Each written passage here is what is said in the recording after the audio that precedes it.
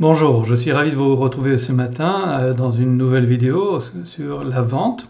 Alors nous allons aborder aujourd'hui donc cette thématique plus professionnelle euh, et ça fait écho à des séminaires que j'ai donnés dernièrement et euh, dans lesquels finalement une approche scientifique de la vente est parfois un petit peu plus compliquée à aborder parce que ça sort des sentiers battus. Alors rappelons-nous que dans ma philosophie professionnelle en tant que consultant mais aussi en tant que formateur ou coach, mon, credo, c'est toujours de vous aider à pouvoir avoir de bien meilleures performances, non pas en travaillant plus durement, mais en travaillant plus intelligemment. Toute ma carrière s'est construite comme ça, c'est ce qui m'a été enseigné, c'est ce que je tente de, vous transmettre à nouveau.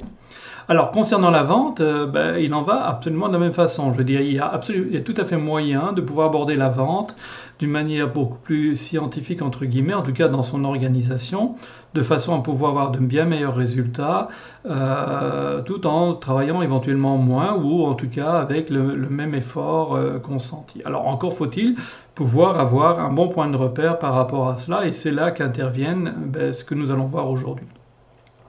Alors vous savez, toujours dans, ma philosophie professionnelle, euh, je suis un grand partisan de ce que j'appelle l'approche factuelle. Donc euh, l'idée étant toujours euh, de partir des faits et non pas des opinions et de bâtir à partir de cela.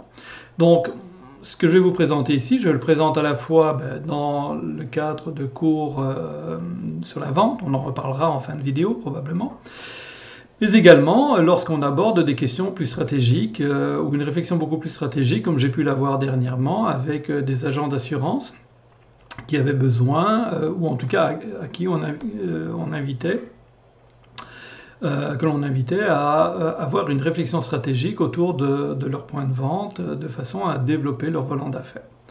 Donc la première chose à faire évidemment, c'est de collecter un certain nombre de données. Alors si on est dans une agence d'assurance, comme euh, j'ai eu le cas dernièrement, la première chose à faire évidemment, c'est de collecter des données sur le marché.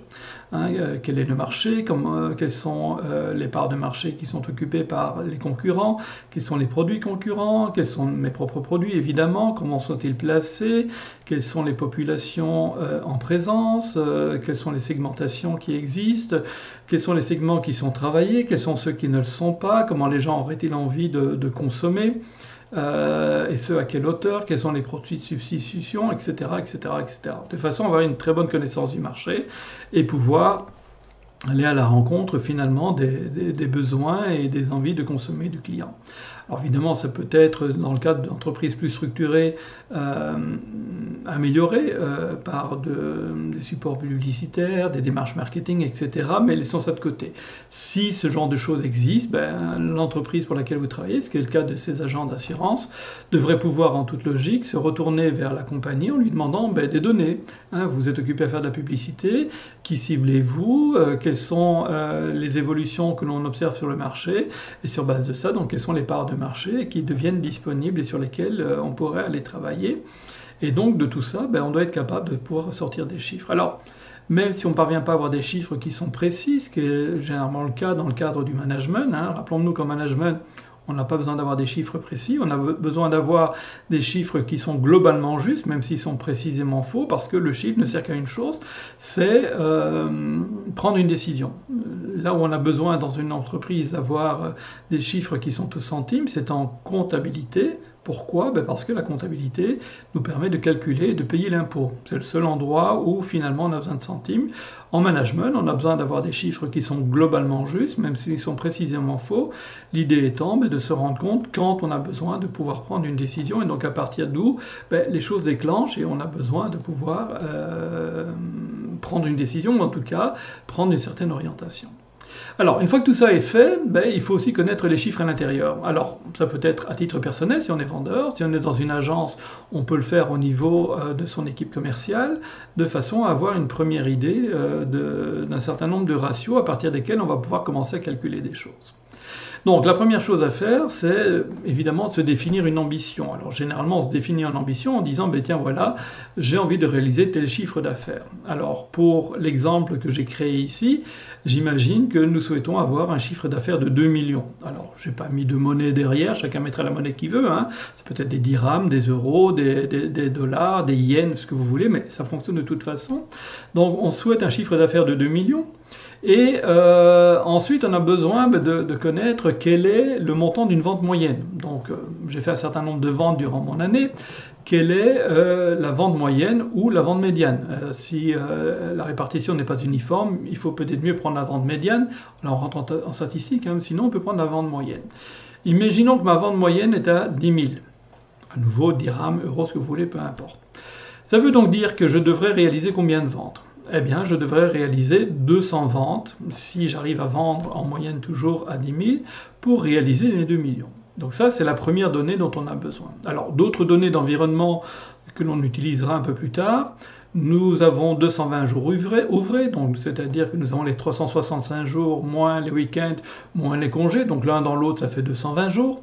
Et puis une journée de travail, c'est 8 heures de travail. On va partir de cette hypothèse-là pour pouvoir avoir ben, finalement euh, la capacité de travail, c'est-à-dire de combien de temps je dispose pour faire mon travail. On verra à quoi ça servira tout à l'heure.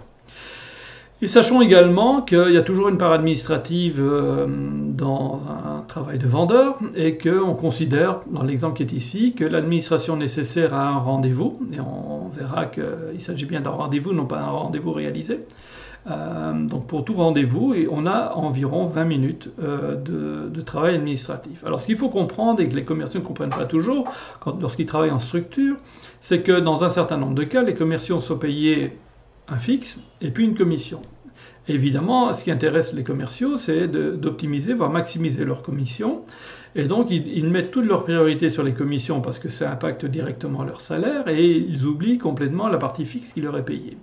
Or, l'administration, ben, elle est couverte par le fixe. Et cette administration est fondamentale et essentielle pour l'entreprise et même pour le vendeur. Parce, pourquoi? Ben Parce que simplement dans l'entreprise, c'est le vendeur qui est le point de contact avec le client, donc c'est lui qui est en capacité de pouvoir relever un certain nombre de données qui peuvent être importantes pour d'autres dans l'organisation. Donc par exemple, le service marketing a besoin d'avoir des données qu'il va pouvoir travailler pour pouvoir imaginer ses campagnes, mais également faire ses analyses de segmentation, etc. Et euh, en même temps, c'est pas le département marketing qui est en contact direct avec la clientèle. Donc le vendeur, lorsqu'il rentre, a renseigné un système d'information. Certaines informations ne lui seront pas utiles à lui directement, mais seront utiles à d'autres dans l'entreprise. Et le fait d'encoder cette information de manière précise, ben, il a été payé déjà pour ça, puisque c'est son fixe. Donc, comme je le dis parfois, et c'est parfois douloureux à entendre, si euh, on ne renseigne pas le système d'information correctement, Malheureusement, il y a, ou heureusement, il y a un mot, en tout cas dans la langue française, qui existe au dictionnaire, et ce mot c'est voleur. On a reçu le paiement pour quelque chose qu'on n'a pas livré. Euh, c'est peut-être choquant de le dire ainsi, mais parfois ça permet de réveiller les consciences et de se rappeler qu'on fait partie d'une organisation et que dans le cadre de cette organisation, nous avons aussi notre part de travail à apporter, notre contribution à apporter pour que l'organisation fonctionne. Et une organisation, c'est bien un ensemble de personnes autour d'un projet commun, chacun y apportant sa contribution. Maintenant, en contrepartie, si le département marketing fait correctement son travail, ben, le vendeur pourrait être soutenu par des campagnes marketing, etc., qui lui permettront pardon, de, débloquer, d'ouvrir euh, de, nouvelles parts de marché euh, potentielles dans lesquelles ben, le commercial pourra trouver des prospects euh, auxquels il pourra vendre. Euh, surtout lorsqu'on est sur des produits euh, qui sont des produits à très longue durée de vie, on a besoin d'avoir régulièrement de nouveaux clients euh, pour pouvoir continuer à vendre parce que le taux de, comment dire, de remplacement, le taux de rotation, disons, de ce qui a été vendu est très lent. Donc on doit avoir une base commerciale beaucoup plus large. ceci étant dit, donc, considérons donc que l'administration prend en moyenne 20 minutes par rendez-vous. Ensuite, la, partie qui est importante, ben, c'est de commencer à relever ses propres statistiques. Alors, on est chacun différent, ce n'est ni bon ni mauvais, mais il faut au moins savoir d'où on part. Et donc, on va prendre un certain nombre de statistiques qui sont importantes. La première, ben, c'est de relever le nombre d'entretiens de vente qu'on a besoin de conduire pour obtenir une vente. Dans l'exemple que je prends, ben, je dis qu'il faut trois. Imaginons que la statistique de la personne, c'est qu'il lui faut trois entretiens de vente pour conclure une vente. Donc en moyenne, il vend une fois sur trois. D'accord? La question suivante qui se pose, c'est de combien de rendez-vous il a besoin pour avoir un rendez-vous où il a une chance de vendre? En ce sens, ben, il, y a, un certain nombre de rendez-vous où, le vendeur va se présenter, puis la personne est absente, elle a oublié, euh, elle n'a pas prêté attention, elle a accordé le rendez-vous mais sans vouloir vraiment, euh, comment dire, rencontrer le vendeur, elle s'est rétractée, bref, le vendeur ben, rentre bredouille et doit retourner au bureau sans avoir rencontré son client. Imaginons qu'une fois sur cinq, à peu près, donc dans 20% des cas, euh, ben, il y a ce déchet en quelque sorte, il y a des rendez-vous non honorés. Donc le nombre de rendez-vous pour avoir un entretien de vente, ici dans notre exemple, est de 1.20. Et dernière statistique nécessaire, c'est de savoir si on passe les appels nous-mêmes pour prendre rendez-vous, combien d'appels avons-nous besoin de passer pour pouvoir obtenir un rendez-vous qui tombera dans la statistique de 1.20. D'accord? Et en l'occurrence ici, ben, j'imagine qu'il faut 15 appels pour pouvoir avoir un rendez-vous dans son agenda. Ensuite, ben, ça devient un jeu de mathématiques. Hein. Des mathématiques simples, ce sont des multiplications, des additions, donc rien de très compliqué. Donc on va partir ben, des 200 ventes que l'on a besoin de réaliser. Et si de fait on vend une fois sur trois, il me faudra 600 entretiens de vente. Compte tenu du fait que euh, j'ai une statistique de 1.2 en termes de, rendez-vous honorés, donc il me faut un rendez-vous virgule 2 pour avoir un, entretien de vente, ben, ça veut donc dire que j'ai besoin d'avoir 720 euh, rendez-vous. Donc les 600 multipliés par 1.20 me donne 720 rendez-vous. Comme il me faut 15 appels pour obtenir un rendez-vous, que j'ai besoin d'avoir 720 rendez-vous pour remplir euh, mon quota, ben, euh, les 720 multipliés par 15 vont m'amener à 10 800 appels à devoir lancer pour pouvoir obtenir des rendez-vous. Alors, vous vous rappelez, on avait pris des temps tout à l'heure, on avait dit qu'on était sur 220 jours ouvrés et euh, sur 8 heures de travail par jour. Donc calculons un peu nos charges de travail euh, par rapport à ces, à Pour ça, ben, il faut connaître quels sont les, temps standards ou les normes euh, à partir desquelles euh, je vais travailler. Alors, je ne vais pas rentrer dans la théorie des normes aujourd'hui, on fera une vidéo dessus éventuellement si je ne l'ai pas déjà faite sur la question des normes. Disons simplement qu'en principe, ça fonctionne en partant de la meilleure performance démontrée. Vous partiriez de la moyenne, si c'est à titre personnel, vous pouvez le faire. Euh, si par contre c'est euh, sur une équipe, partez sur la meilleure performance démontrée, parce qu'il n'y a aucune raison de ne pas tirer les personnes qui euh, sont moins performantes vers le haut. Donc, et puis je m'en expliquerai dans, une vidéo sur cet aspect-là. Donc si je repars des choses, à nouveau je pars en, observation, et je constate qu'un rendez-vous, tout compris hein, entre, avec les trajets, le temps sur place et le temps de revenir, donc, me prend 1h25 en moyenne, d'accord? Ensuite, considérons qu'un rendez-vous non honoré me prend 25 minutes, puisque bon, mon entretien de vente prend une heure, mais j'ai 25 minutes de trajet, d'où l'heure 25, et là j'ai 25 minutes, donc aller-retour de trajet. Je me suis déplacé pour rien, mais j'ai dû me déplacer. C'est certes un travail inutile, mais j'ai dû le réaliser, et ce temps n'est plus, disponible, pour autre chose. Pardon.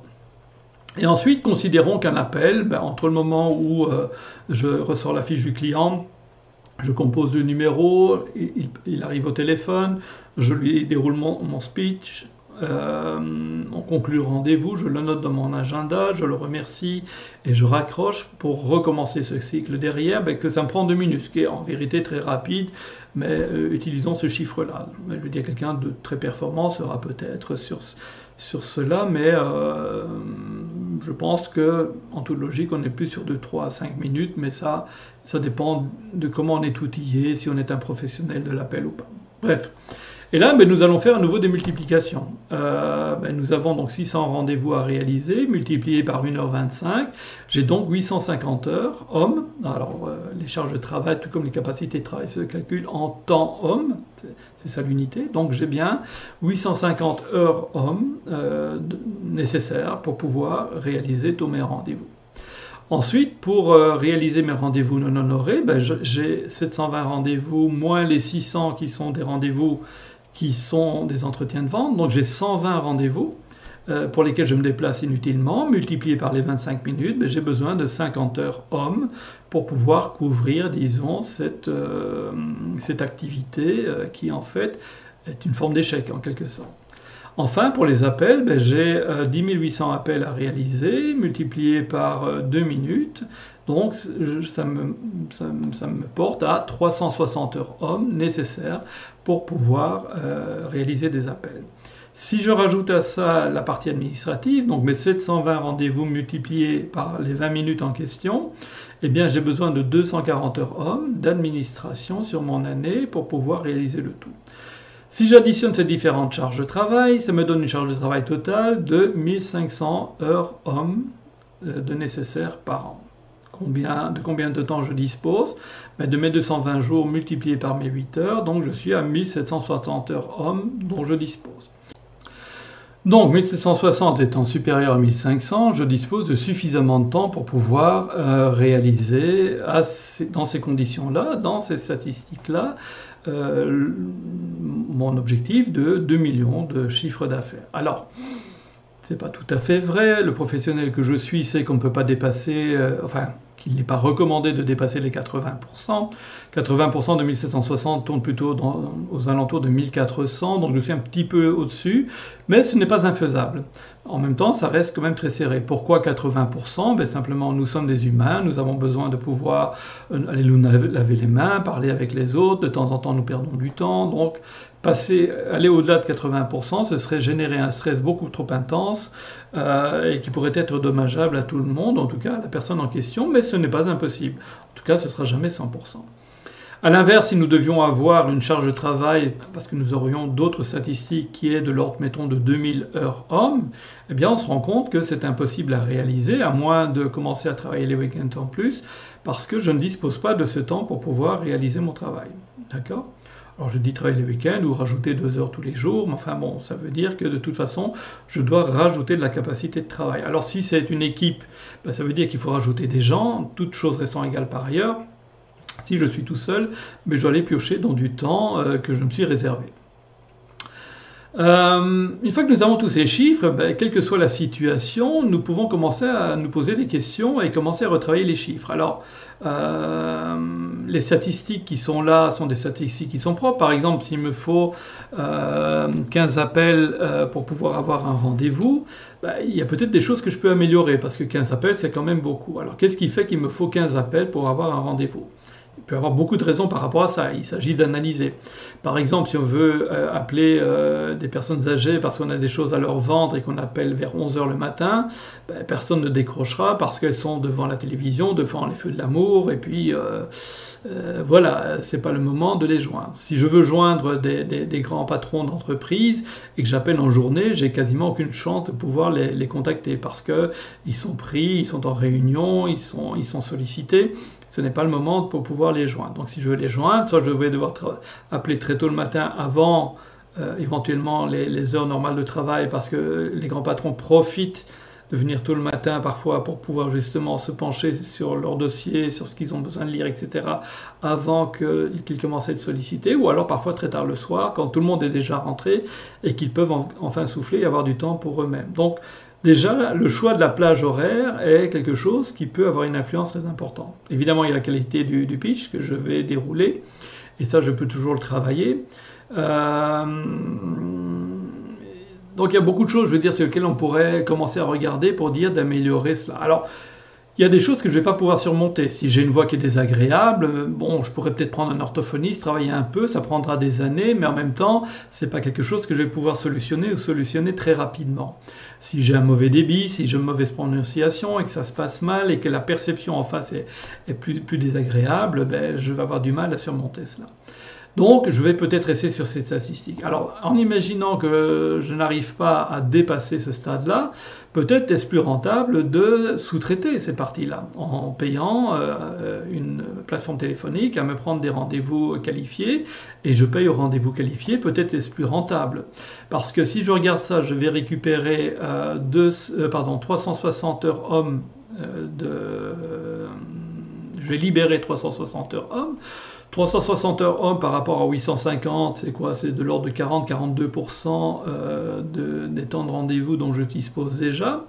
Et en imaginant même que je suis euh, euh, sur un ratio de 1 pour 2, on va dire que je vais être, je sais pas moi, à 40% ou quelque chose comme ça, ou 38%, ben, je vais pouvoir euh, réaliser probablement 40% de chiffre d'affaires en plus, qui pourrait m'amener 2,4 millions. Je fais ça à la louche, hein, mais c'est dans cet ordre de grandeur. Et ben, les 400 000 en plus que je vais gagner couvrent peut-être très largement le coût de la plateforme téléphonique. Donc, le fait d'avoir des chiffres, ça nous permet de pouvoir faire des arbitrages. Donc je sais ce que ça me coûte, je sais ce que ça peut me rapporter si je fais les choses évidemment convenablement. D'accord? Évidemment, j'ai mon temps d'administration qui va augmenter un petit peu aussi puisque j'aurai 40% de, de, temps en plus. Donc les 40% vont se répartir en grosse partie sur des rendez-vous et des rendez-vous non honorés, mais une partie va aussi partir à l'administration. Donc on va recalculer, mais l'un dans l'autre, je vais peut-être faire du 200, 300, 400 000 entre 200 et 400 000, disons, de, de chiffre d'affaires en plus, peut-être plus de l'ordre de 300, 350, mais bon, peu importe. Et ça couvre peut-être très largement les rendez-vous qualifiés qui auront été pris par la plateforme téléphonique. En imaginant que chaque euh, appel qualifié me coûte même, mettons, 100, euh, bah, ça va me coûter 72 000 euh, puisque j'ai besoin de 720 rendez-vous, 72 000 par rapport à 200, 300 000, je reste encore très largement profitable. Donc ce sont des calculs et des arbitrages qu'on peut faire. Si nous sommes amenés en tant que directeur commercial à devoir discuter du dimensionnement de mes équipes avec ma hiérarchie, parce que l'objectif commercial serait trop important euh, par rapport aux ressources dont je dispose, c'est-à-dire à la capacité de travail dont je dispose, dans notre exemple ici, les 1760 heures hommes, eh bien, euh, j'ai au moins une base, plus scientifique à partir de laquelle commencer à travailler et discuter pour pouvoir tenter d'ajuster mes ressources compte tenu euh, des ratios des ratios de mon équipe, des ratios moyens peut-être de mon équipe, ou ceux à la meilleure performance démontrée. Si on est sur une équipe, c'est encore mieux. L'idée étant derrière ben, de se mettre des, plans d'action de façon à euh, améliorer et tirer les gens vers le haut également. Donc quoi qu'il se passe, on peut se mettre des plans d'action en place. Que puis-je faire pour réduire euh, les 20%, disons, euh, de rendez-vous donc j'ai un sixième, je vais dire puisque c'est un 20, donc j'ai un sixième d'un rendez-vous sur six euh, qui, euh, qui n'est pas honoré. Comment puis-je euh, diminuer ces statistiques pour descendre à un 7, un 8, un 9, voire un 10, voire même l'éradiquer complètement? Qu'est-ce qui, fait que les rendez-vous n'ont pas conscience que nous avons rendez-vous? A-t-on besoin d'envoyer une confirmation de rendez-vous euh, régulièrement, enfin un peu avant le rendez-vous, la veille ou quelque chose comme cela? Euh, A-t-on besoin de conclure notre appel différemment, de façon à ce que la personne considère beaucoup mieux le rendez-vous, quitte à ce que nous l'accompagnions pendant l'entretien téléphonique, à ce qu'il le note dans son agenda? Euh, Peut-on utiliser Calendar de, Google par exemple pour partager directement sur l'agenda de la personne ou sur son comment dire, sur, sur, ses SMS ou voir son WhatsApp le rendez-vous en question de façon à le lui rappeler, etc., etc., etc. Donc il y a des choses que je peux réfléchir par rapport à ça.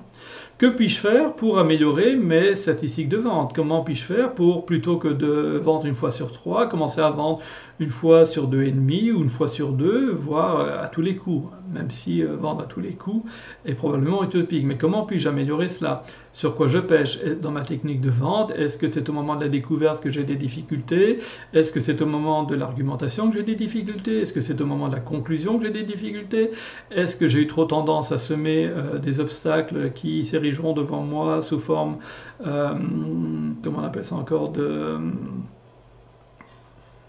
contre-argument, le, terme m'échappe pour l'instant, ça va me revenir, euh, de la part du client, euh, qui, va me dire oui mais ceci, oui mais cela, on n'a pas considéré ceci, j'ai encore des questions que je me pose, etc. Donc, les objections, voilà, c'est le terme que je cherchais.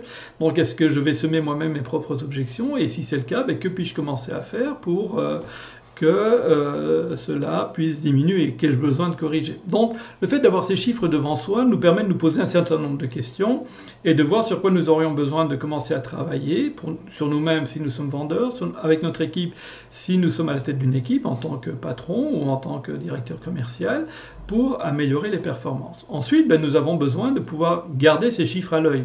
Et ça, ça, deviendra mon tableau de bord commercial. Alors un tableau de bord n'a pas, on, aura évidemment la réalisation du chiffre d'affaires, soit à date, soit par rapport à la réalisation du chiffre d'affaires total à réaliser.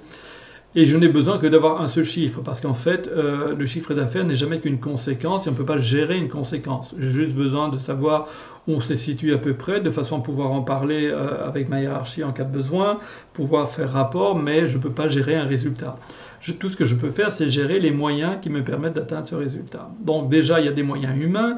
Est-ce que tous mes commerciaux euh, sont bien sur le pont, en train de travailler, et est-ce qu'ils travaillent dans euh, les bons efforts? C'est-à-dire, est-ce que le travail qu'ils réalisent est bien dans les statistiques que nous ciblons?